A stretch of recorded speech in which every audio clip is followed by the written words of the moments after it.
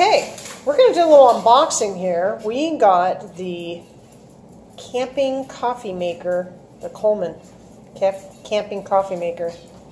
A friend of ours had this, and uh, we said, "Oh yeah, we need to have that. That's better than a kettle pot." So uh, let's get into it.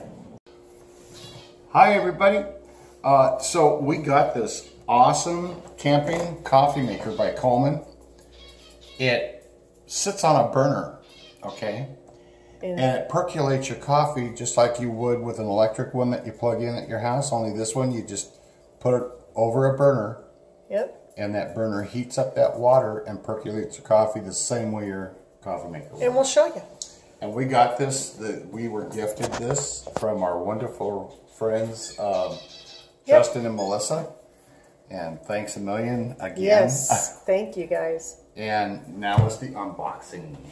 Let's undo it. Unbox it, unbox it. Open it up, open it up. No, Bean Bean, it's not for you, honey. Sorry. Once again, I'm sorry. Your box is coming. All you have to do is remove it from the box. I'll hold it.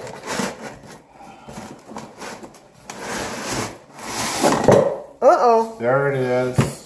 Maybe you should have done that upright. No.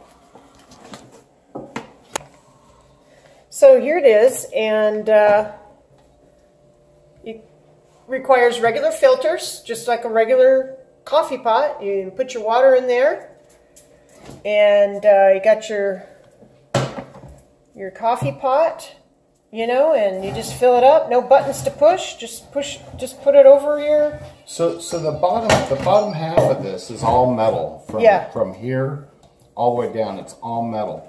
Yeah. So you put this over your burner, and that burner heats up the water and sends the hot water up and percolates into your thing. So. Yep. And then this this part, this is uh, up here is. Uh, this whole upper half is plastic. Is yeah.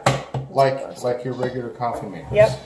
It's just got a metal bottom for your burner. Yep. Comes with instructions in case you forgot what I just told you. Put it on the burner, put the water and coffee in, have fun. Now, uh, they do suggest to have the uh, handle straight because, straight out, because it, it does get hot off to the side. If it's off to the side, that flame could compromise your plastic handle. Yeah. So you keep it straight up. Yeah. So we did try this out on a burner, we, and we, um, we, ran it and sanitized it, and it did what it's supposed to. Right. It does take. Uh, I can tell you to percolate. It it will take at least twenty to thirty minutes, depending on how much coffee. It took almost thirty minutes uh, for twelve cups. Yeah, but so you know we were conservative on that amount of flame that was coming up because we didn't want to you know overheat this unit. Yeah. Um, but it was at a moderate volume. I probably wouldn't want to go higher than that to speed yeah. it up. Just right. uh, take your time and enjoy it. But yeah, this this is great. So like when you're boondocking, uh, you don't have to run your generator or plug in your electric coffee maker in an inverter. A lot of people don't have that stuff. Uh, everybody's got a, either a Coleman camp stove or uh, in your RV, you've got your uh, you got your stove inside there, and you just take the you take the uh, grate off, and this has its recessed area, so you just light your burner and you put it on top, and that's it. Right.